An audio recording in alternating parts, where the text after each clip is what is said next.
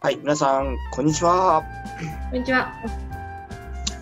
いやーあの緊急事態宣言がね、始まってしばらく経って、えー、我々音楽家のお業界はなかなか厳しい事態にさらされておりますわな。そうですわな。まあ、そんな中、いかがお過ごしですか？清美様。そうですね。私もだからあのレッスンもね、ちょっとまた、えーオンラインに戻った生徒とかいて、うん。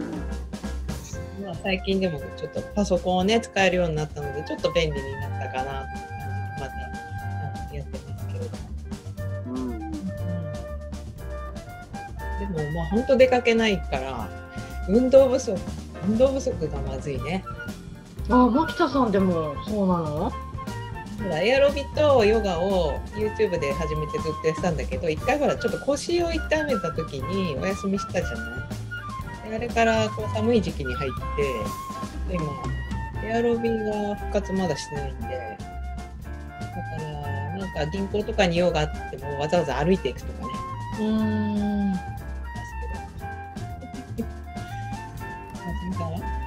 私はね、えっ、とほらあの親知らずの一件であの太ったって話したじゃないですか前回。うんこれまずいって思って、あのまずはね、やっぱ運動ですよね。で、あの YouTube 見ながらやってるんですけど、その筋、まあ一応筋トレ的なやつを、もう朝晩に増やし、うんで、あとね、入浴の方法で、333入浴っていう、あの、もう肩までどっぷり厚めの使っ、3分使って、3分出て、3分使って、3分出て、3分使って終了ってやつがあるんですけど、で、それにさらに出るときに、あの、冷水を浴びるっていうのをやって、うん、すごいね、こらこらっつってこう一気にこう戻してる。はあ。すごいなんか修行苦行。でもいいです。あの入浴法なんかいいなと思いました。あと、すっごいあの温まってるので、そこで最後冷水ザーッといくと、すごくさあの一瞬わって思うんですけど、その浴びた直後バッてもう一回暖かくなるので、うん。なんか免疫力も高めたりするし、すごくいいらしいので、おすすめです。夏美さんは？うん、えっとね、この、とにかくまた暇になっちゃってね。で、あの、これ、これ幸いとばかりに結構病院通いをしてるんですけど、あの、最近、名医者に結構行ってて、あの、結構眼圧がすごい高くなっちゃったんで、あの、ちょっと訳あって、あの、目にね、注射をしたんですよ。眼圧を下げる薬をね、入れたんですよ。目に注射？みたいな。あの、まあ、あの、もちろん、あの、こう、麻酔のね、あの、目薬を何回か刺して、あの、そそれで打つんで、痛くはないんですけどね。まあ、でも、あの、うそれを目に注射をするっていう響きはすごい恐ろしいじゃないですか。うん。なかなかね、怖かったですけど。やっぱ針がこう来るの見えるんですか？そう見える、もちろん。うわちょっとチクッとしますよって言われたけど、まあ、チクっていうか、あ、プチっていう感じでしたけどね。ー まあ、でもね、あの、この1年ね、僕はあの、結構、あの、歯、歯もね、結構すごい直したんですよ。虫歯をいすごい直してて、あの、だからあの、歯にしろ、いろんな体の病気でやってなかったことをすごいやってて、あの、すごい大金使ってるんですけど、まあ、でもまあ、幸いね、あの、いろんなことが治ってきてて、特に歯はね、あの、すごい違うね。へえうん。だから、あの、今まであの、虫歯だったとか、ちょっと抜けてたとかね、うんあの、欠けてたとかっていうのがしっかりした歯になったことでね、あの、とにかく、あの、噛むっていうことが、あの、ものすごくこう楽になって、あのもちろんこれが、すべてが本物の歯だったらね、最高なんでしょうけど、あの、詰め物だったとしてもね、うんあもう全然いいよ。うーん。だから、あの、ほっぽってる人はね、もうあの、こん、今日、今日、今日っていうか明日でいいから、明日行ってくださいよ、会社に。ね。はい。じゃあ、次のコーナー行ってみますか。はい。質問コーナーでございます。はい。えー、まず1問目。恋人に興ざめした瞬間ってどんな時？おー。夏美さんはどうですか？そういうことありました？興ざめってなんかあんまり思い浮かばないですね。うんだけど別に恋人とかそういうのに関係なくあの食べ方すごい汚いとかは友達とかで一緒に食べて食べた時とかにちょっと、まあ、いわゆる興ざめする可能性はあるかな。それでね、うん俺ね、あのちょっと記憶があってね、俺もね、あの恋人に興ざめしたことないんだけど、うん小学校の時にね、うんあのー目の前に座ってた、まあ、男性の友達がね、うんえっ、と、その、ランチルームで、まあ、あの、給食一緒に食べてた時にね、ここ、もうすっげえ汚くしてな食ってたの。こう口の周り。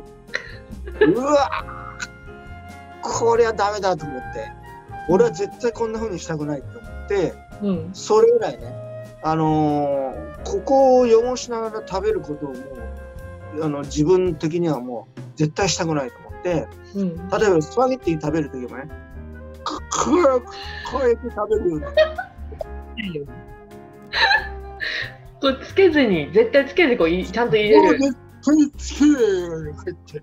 そそしたらね、大学入ってから自分の師匠に、松見はこうやって食べるんだねって言われて、俺は、ここにはつけてないけど、かなり不自然な、みんなからはあのおかしいと思われる食べ方をしてるんだなってこと、そこで親気づいて、それはそれでダメじゃんって思って、それもやめた。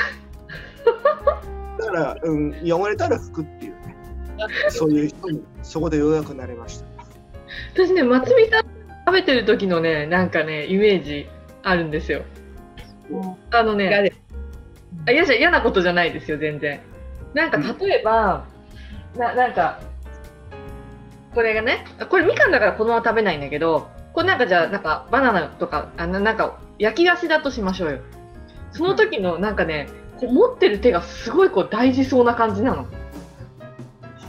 こういう感じでこうハフってこう食べてるんですよね。こうこうこの手両手でこう大事そうにこう持って食べてるっていうのがなんかねすごいいつもなんかねあなんかそそれがすごい印象なの。あそう。知らんかった。それはあれじゃないこの角度をちゃんとしてこう口につかないようにこういうふうにしてあいや角度をこう決め込んでたのかなちょっとあ、なるほど。で もなんかつけないようにね。でもこの手そうだなるごめんほど。はい。じゃあ、清美さんはどうですか、京ざめ。あんまりそうかもしれないけど、でも私の意見一つは、恋人時代にはまあ、興ざめあんまりすることないかなっていう。あの、もう結婚してからのがありますね。いや っていうのが本音。でもね、一個思い出したの、なんかね、あの、付き合ってる時にね、興ざめとちょっと違うんだけど、バーンってこうやって、うちに迎えに来た時に、ピャって玄関のドア開けたら、上も下もチェックの洋服だったのね。で、その全然違うチェックで、あの時はなんかね、はぁって声がなんか、なんて言ったもう、こうやって言葉が出なかった、もう、なんか急に。でしょこれ恋人ね、恋人を迎えに行くのに、これがかっこいいと。ご本人は思ってそれを着てるんだから、許してやってくださいよ。それってね、全然考えてないか、どっちか。あ、どっちか。いやまあ確かに、それもあるか。上下面白い。はい。じゃあ、次の質問に行きますね。はい。えー好きなポテチの味は？ポテポポテトチップス。いや、ポテトチップスってそうそう買わないんですけど、うん。買わない。いや、そうだよね。でもなんかコンビニとか見ると、すっごいなんか面白そうな味はいっぱい売ってますよね。うん。最近のあんま知らない。なんか辛いのとかぐらいは知ってるけど。うん。でもやっぱり、まあ、もし、もし食べなきゃいけないったら、あの、シンプルな塩味か、海苔塩かな。あー、バシャバシャ食べたいな。食べればいいじゃん。あ、ダメか、今。ね、今ちょっと。まあ、あの、僕はね、まあ、やっぱりシンプルな海苔塩が好きだし、コンコンソメ味も好きうん。まあ、い結局いろいろ出てるけど、うん。結局そういうのに戻るよね。あの、定番のものに。ではね。でもね、やっぱりね、結局ね、あの、食べてはいけないもの5000円とか言って、そういう YouTube とか、ブログとか見るとね、絶対ポテトチップス入ってくるからね。やっぱ入ってくんだ。もう、もう食べない方がいいです。それ じゃあ味の問題じゃなくてもう食べないと、サンビヨンは。そうね。うんまあ、いいんですよ。だからと、本当に時々食べる分には別にいいんですよ、そんなの。うんただ、なんかほら、1週間に 2, 回も食べちゃうとか、うん。うんそういうことはしない方が。だから俺、俺なんかはね、あの、高速道路の長距離に乗ってる時にね、あのー眠くならないようにとか言って、わさび味のとかね、ああのうん。だから長野県から帰ってくると、長野県の、あの、わさびを使ったわさび味が出てるんですよ。へえ、うん美味しそうん。だからそれももう、ほら、もう目覚めるから、あまりにも辛くて。う。へえ。うん。でそんなの買って食ったりしてたけど、うん。もう二度としないようにしようと最近はしてますけ 偉い。ど。はい。じゃあ次の質問に行きますか。はい。好きじゃない人に好きって言われたらどうしたらいい？付き合ってくださいは言われてない。なんかそういうことです。妙に具体的な感じだね。うん入ってるっていうの面白い？ね どうしたらいい？どうんたらやっぱありがとうん。うん。だけだよね。そう。ありがとう。ありがとう。でいいんじゃない？そう思だから、それで、その後付き合ってくださいって言われたらごめんねでいいわけだしね。う。うんうん。うん。お、三人とも意見が一一致しちゃったね。一致しちゃいました。特に発展性はないね、これは。う。うんん。まあ、とにかく、だから、相手がす自分のことを好いてくれたっていうことは、それはありがたいことだ。うんうん。だからこっちが全然好きでもない人によくさ、あの、なんかさ、あいつが私のこと好きなんて言ってんだよ。とかって、なんかその人のことバカにしちゃうような言い方する人をね、あ、言うんだけど、いるじゃないですか。あの、友達に対してそういうね。うんあの、他の人に、あいつがさ、とかって言う人いると思うんですけどね。それはちょっと違うかなと思うんですよね。うん。やっぱり、どんな人でも自分のことを好いてくれた、それはありがたい。うん。感謝じゃないですか。思います。じゃあ以上で質問コーナー終了です。はい、松見の3分ください。えー今日お話ししたいのは、えー積み重ねしかないという話ですね。うん。例えば楽器の技術のことをこう思い返すとですね、うん。あのー楽器の上達にあの近道がなくてですね、あのー基礎練習やら、何練習やら、まあいろんな練習があるんですけど、あるいはまあ音楽を鑑賞することとかね、うん。あのーそういうことのもう積み重ねしかなくて、あのー一気に上手くなる秘訣なんて実はないんですよね。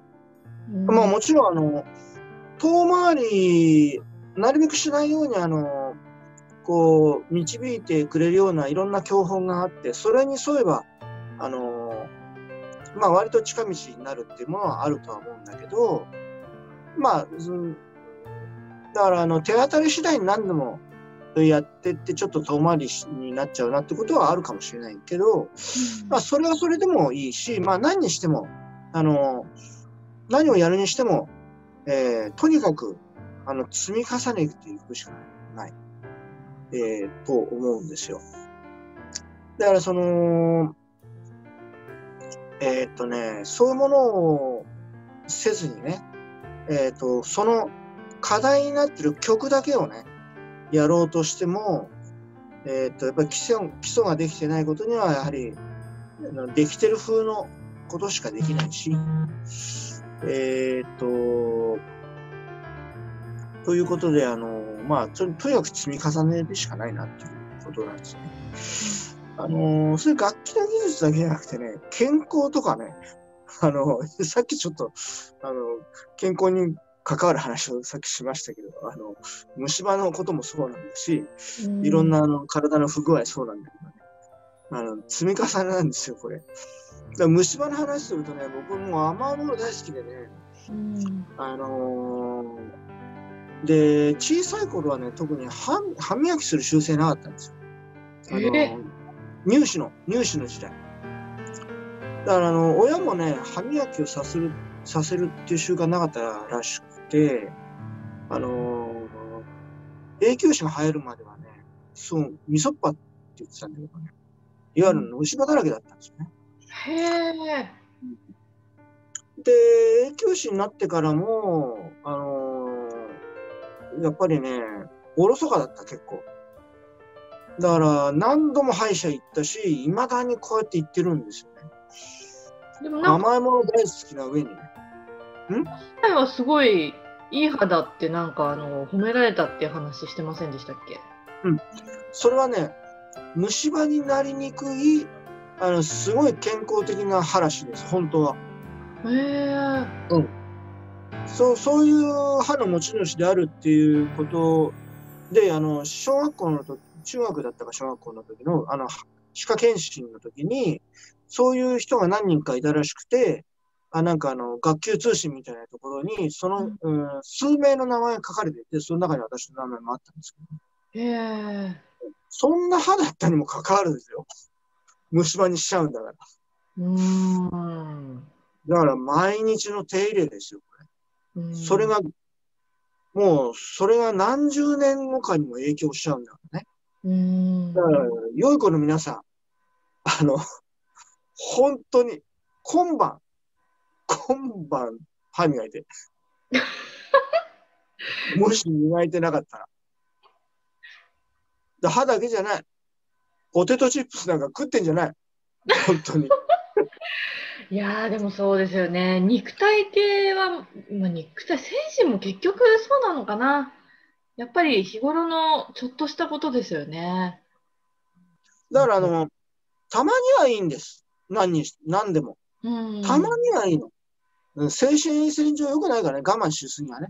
うん。そのたまにをどのくらいたまににするかよ。うん。だから、あの、清美様のようにね、エアロビなんかしたりすると、うん。清美様のように美しい肉体が維持されるわけです。いやーでもそうですよね。そのウエスト。これはあの、私にウェーブっていう体型なんで、あ、体型の 骨格の問題？骨格の問題もあるんで。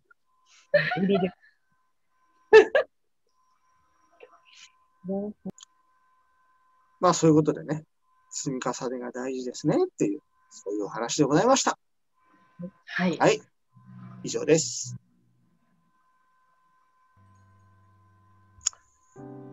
はい。えー、夏美さん、お知らせがあるとのことで、どうぞ。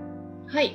えっと、前回もお知らせしたんですが、えー神田明神ホールで、えー2月の24日に、えー和太鼓の、仙台在住のね、和太鼓の方と、えーコラボレーションをします。あの、リハーサルもね、今回仙台で何回かやりに、あの、行くんですけどね。ちょっと衣装も、あの、3秒も、やっぱり和を取り入れてるので、ちょっと今、衣装をですね、自分で、あの、チクチクやってるんですよ。えー、そう、あの、白いドレスに、あ、言っちゃったな。まあ、個人写真も撮るんですけど、あの、帯をね、細、細い帯をちょっと作って、あの、巻こうかなと思って、そのうち公開します。すっごい長いのを手縫いしました、今縫えるんだね、すごいね。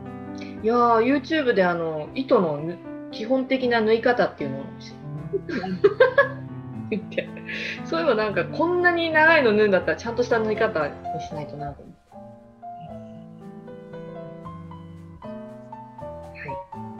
はい。はい。さんはえーっとですね、私あの、打楽器アンサンブルを実は組んでて、パーカッショントリオブルートーンっていうのがあってね、あのー、服部めぐみさんっていう方と、木地谷のりこさんね、3人で組んで、えーっと、それがね、えーっと、長野県東御市の、えーっと、サンテラスホールっていうところがね、やってる、えー JS 文化フォーラムっていう名前でやってる、えー配信ライブですね。だから YouTube にアップされてるんですけど、そこで3曲演奏して、えー先日公開されました。なのでね、えーぜひとも、うん見ていただきたい思っています。えっ、と、これどこで見れるかな？まあ、JS フォーラムって、あの、け JS べ文化フォーラムって検索していただければ、そこの、うん、YouTube でね、見れますし、まあ、あのリンク貼りましょう。あそうそうですね。そうさせてもらう。ここにね、あの、概要欄に貼っておきますんで、えーぜひ、それ見、見てください。はい、以上です。あはいであ、どうぞ。されてるので、あのえっと、私の YouTube の方もあの新しい朝にっていう爽やか系な曲です。ラリララリラリですよね。覚えちゃった。そうです。はい。はい。ではね、今日はこの辺でお開きにいたします。え皆さん、お元気でお過ごしください。さようなら。さよなら。